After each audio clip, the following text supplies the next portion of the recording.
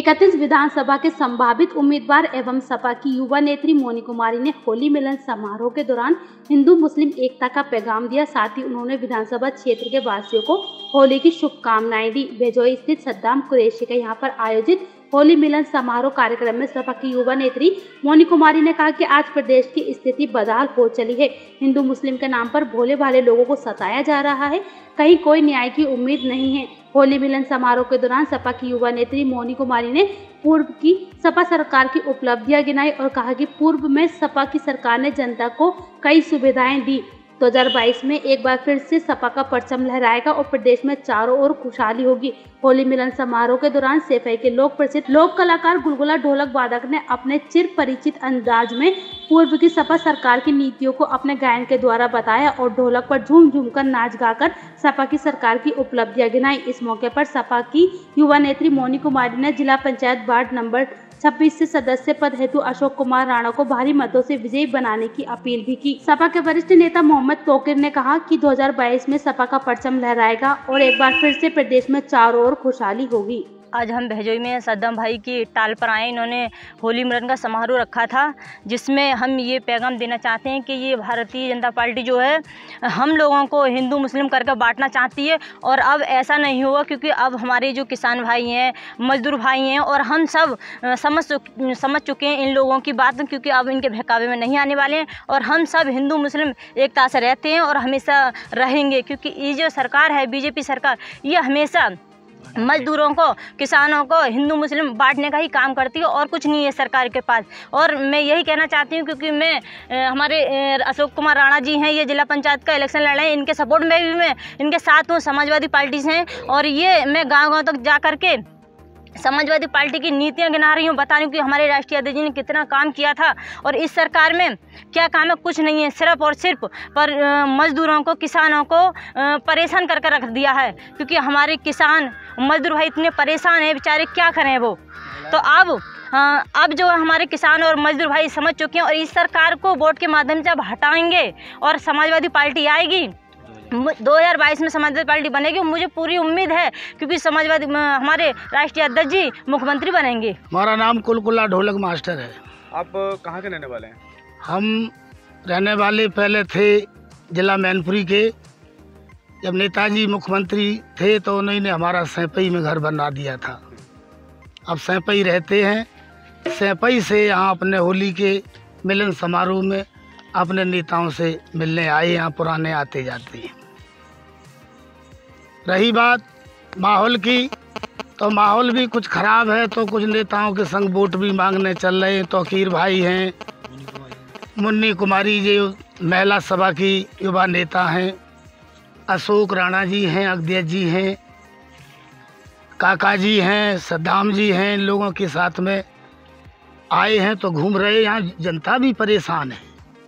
कहीं ना कहीं सरकार आपकी आ रही है और भैया का राज आएगा लोग सब ढूंढ रहे हैं अखिलेश कहाँ है अखिलेश कहाँ है?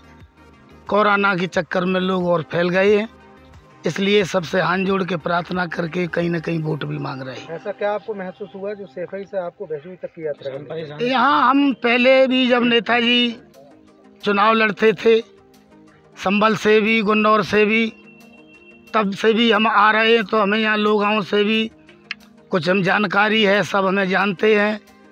उन्होंने कहा भी कि आप आइए यहाँ माहौल अच्छा है और चुनाव अब सपाही जीतेगी। इधर उधर चक्कर न काटो तो इसलिए हम यहाँ पर मैनपुरी से चल के इटावा से आए। आप अपने संगीत के माध्यम से 2022 के चुनाव में क्या संदेश देना अभी यहीं से ही संदेश चला जाएगा।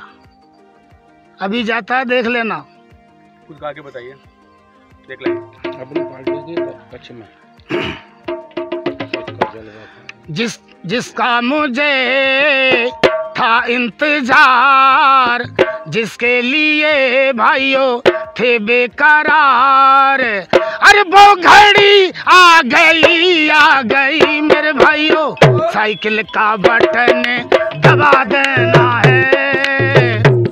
अशोक राणा को जिता लेना है। साइकिल का बटन दबा देना है। बाजिद अली खान साहब को जिता लेना है। इसका मुझे